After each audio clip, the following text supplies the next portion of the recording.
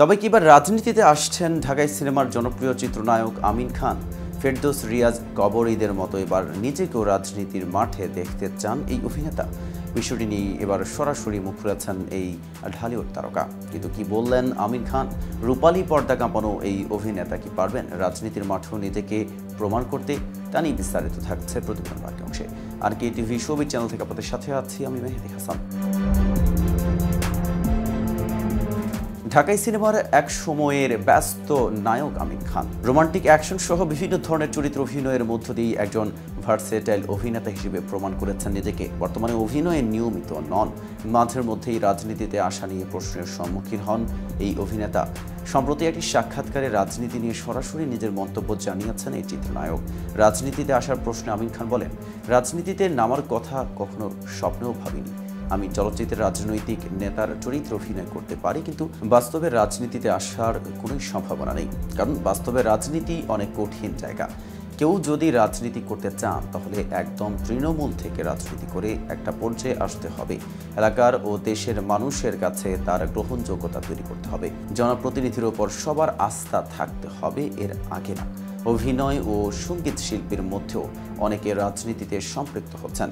তাদের কাছে বিশেষ অনুরোধও জানান এই নায়ক। তিনি বলেন, আমাদের সহকর্মী যারা রাজনীতিতে সম্পৃক্ত হচ্ছেন, তাদের কাছে আমার একটাই অনুরোধ, সেটা হলো, আপনাদের যদি রাজনীতিতে নামার ইচ্ছেই থাকে, তাহলে তৃণমূল থেকে রাজনীতি করে আসেন। শিখতে শিখতে ভালো পর্যায়ে আসেন। দশ থেকে বিশ বছর সময় দিয়ে নেতৃত্বে আসেন। একদিনে রাজনীতিতে আসলে দেশের মানুষ আপনাকে ঠিকভাবে নেবে না। একজন জনপ্রতিনিধির কাছে জনগণের অনেক আশা থাকে, যা লোক দেখানো দিয়ে হয় না। সেবা দিয়েই তাদের টিকে থাকতে হয়। আমিন খানের মতে রাজনীতির মাঠ লোক দেখানো কাজের জায়গা নেই। একটি সেলফি তুলে ছেড়ে দিলাম, এটা সে জায়গা না। একজন জনপ্রতিনিধির কাছে দেশের মানুষের অনেক আশা, আকাঙ্ক্ষা থাকে। তাদের কিছু না দিতে পারলে তাদের নিক্ষেপ করেই ফেলবে।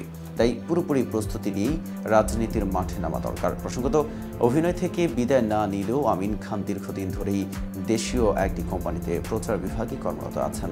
এর আগে তিনি জানিয়েছিলেন, ভালো গল্প পেলে অবশ্যই লাইট ক্যামেরা অ্যাকশনে ফিরবেন। তিনি। প্রসঙ্গত, বাংলাদেশের ফিল্ম ইন্ডাস্ট্রির অ্যাকশন ও রোমান্টিক হিরো হিসেবে খ্যাত জনপ্রিয় চিত্রনায়ক আমিন খান। উনিশশো তিরানব্বই সালের মোহাম্মদ হোসেন পরিচালিত সনি কথাচিত্র প্রযোজিত অবচিত্রটি মন চলচ্চিত্র অভিনয়ের মধ্য দিয়েই চলচ্চিত্রে তার অভিষেক হয়। এর আগে উনিশশো নব্বই সালে নতুন মুখের সন্ধানে আমিন খানেরই চাচা আবু হাসান খানের অনুপ্রেরণায় এই প্রতিযোগিতায় নিজের নাম লেখান উনিশশো সালের চব্বিশ ডিসেম্বর আমিন খানেরই জন্মদিনে তার প্রথম চলচ্চিত্রের শুটিং শুরু হয়েছিল।